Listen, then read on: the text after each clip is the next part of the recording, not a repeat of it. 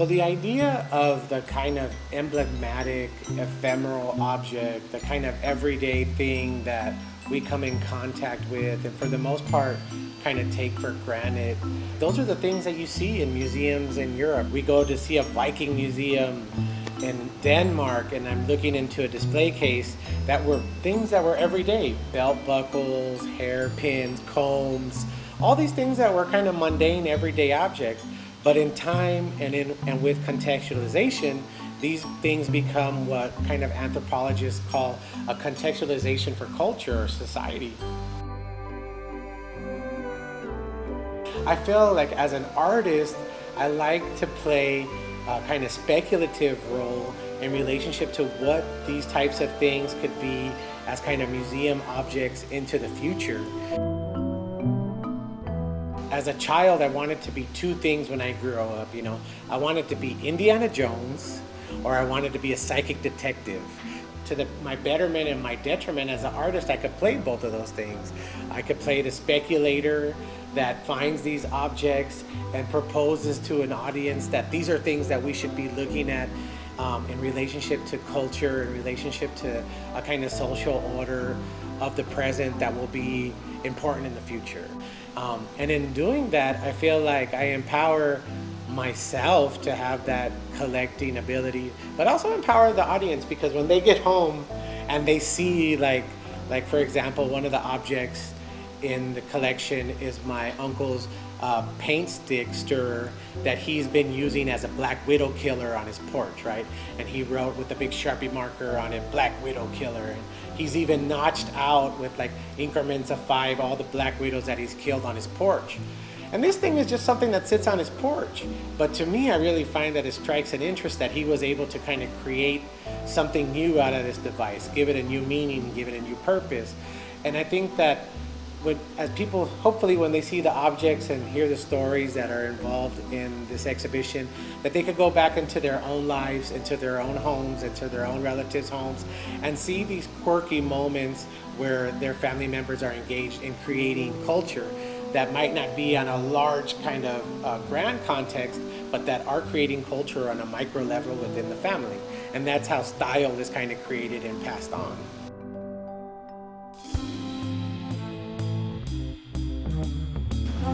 My family has influenced my style as an artist in several ways. Some that are totally conscious and some that are very subconscious and that I'm not aware of, but are maybe more innate in some kind of genetic makeup. How I wake up every day in the middle of the night, like at three or four in the morning, and I'm ready to start the day.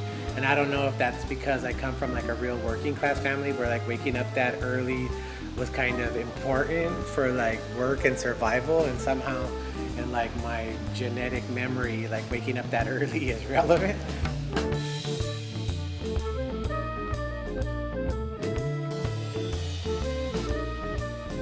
In terms of style um, i think a kind of looseness and kind of attitude and that improvisation and kind of uh, it is what it is, and to make things kind of work, um, you know, with whatever you have, um, has really influenced how my style developed as an artist. Well, I think geography has really influenced my style and had a deep impact on a kind of approach for me being an artist. One is that since I grew up here in the harbor area of Los Angeles, being here on the ocean is, is, is a very particular sensibility, a more of a laid back sensibility than being in the urban center of the city.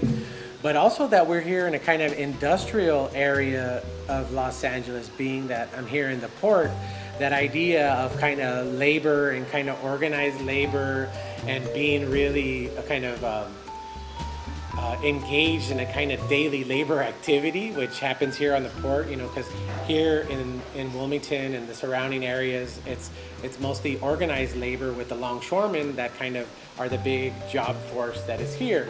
So having that sensibility of like being able to be around and see how like a kind of socialist model in relationship to capitalism in the United States is a viable option I think that that is a very particular uh, idealism to be growing up in.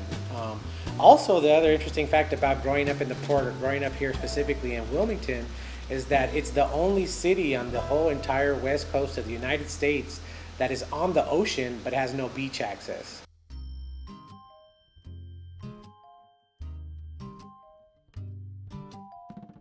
My connection with Santa Barbara is, is really interesting. First of all, my father was born in Santa Barbara, um, and I have great uncles that are no longer living, and their families that are, are still living in Santa Barbara.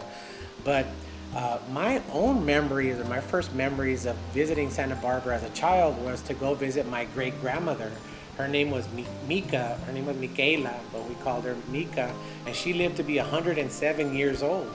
And I remember as a small child taking the drive up the coast and passing Santa's Village and um, my dad smoking a joint, dry, listening to Sade and his like red Datsun 280ZX.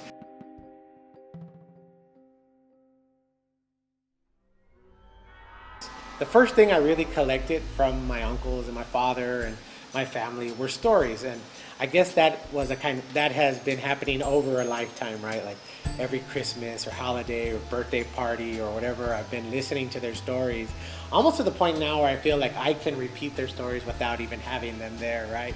I'd go visit my uncle, uh, my, my eldest uncle, his name is Claudio, my father's older brother. I went to visit him, sit with him for a few hours, talk to him. Um, and then they had all kind of been to my studio and and they all kind of understand that I like to collect things. I think it's a, I think it's kind of a family thing too because one day I remember we were sitting in the living room of my grandmother's house with a few of my uncles and my father, and all of us started pulling out of our pockets either pocket knives or watches or a wallet or a belt buckle or something that we thought were cool, and we were kind of in a sharing time, and um, so I think that that we kind of have that as a way to also share stories, a way to share information through objects. And then when we started the project uh, with CAF, and I started explaining to them like, oh, they're going to be things that are going into a museum. Then they, they really warmed up to the idea of starting to give me things, right? Like, oh, it's gonna be a museum, a museum, and they would be like, oh, but you gotta take care of it. You gotta bring it back to me. And I'm like, no, no, it's gonna be in a case. And they're like, oh, it's gonna be in a case. Okay, like things started. They started letting go of things, and it's been a while now that we've been working on this project. So now they're starting to get a little bit anxious because they're like, when is your when is the show? When am I going to see my stuff in the cases? Some things have come to me over the years. Some things have just come to me recently. Some things I didn't, I never knew existed, or I had a vague um, memory of the story, but not the kind of object that existed with the story. Like for example, here we have a pile of really complicated jigsaw puzzles, and they come from my uncle George. And my uncle George when he was 18 years old, he got into a car accident. He broke his neck. He had to be in a year long rehabilitation. He had to wear a halo and learn how to walk, talk, everything again. They said he was going to be paralyzed, etc., etc. Part of his rehabilitation at the beginning then was to make these jigsaw puzzles to help him with memory, to help him with his coordination and placing these things. Um, and then just two years ago, now he's maybe in his mid 40s, he continued going to school after that accident. Once he recuperated, he walks again, he drives again, does all this stuff. And he was a real inspiration for me because a few years ago, we, he just graduated uh, from Cal State Long Beach with a degree in engineering.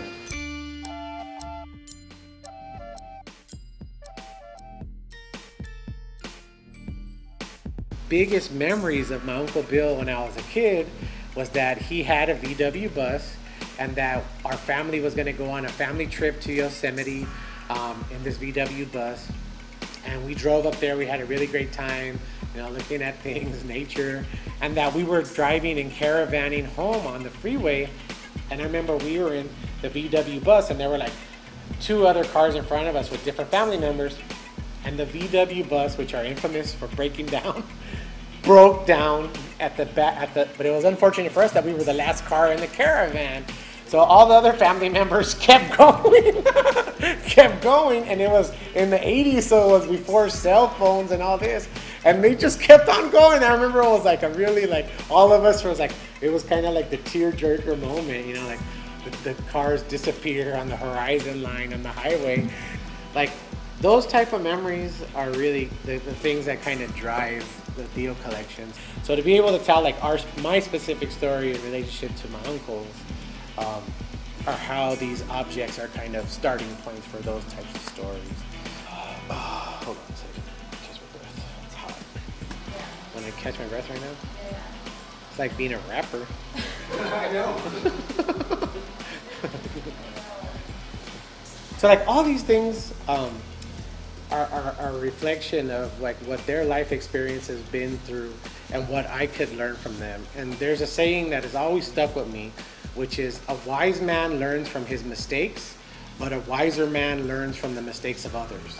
And I feel that that is a legacy that all families could have, you know. So we do create family in all types of ways. In the way that uh, we create, you could say it's tribes or even gangs, like, for example, because there's a need for us to be in communication and to be learning from uh, others, right? And um, so that's why it's important for me to kind of look at these things and they become kind of landmarks or, or kind of trail markers for different paths.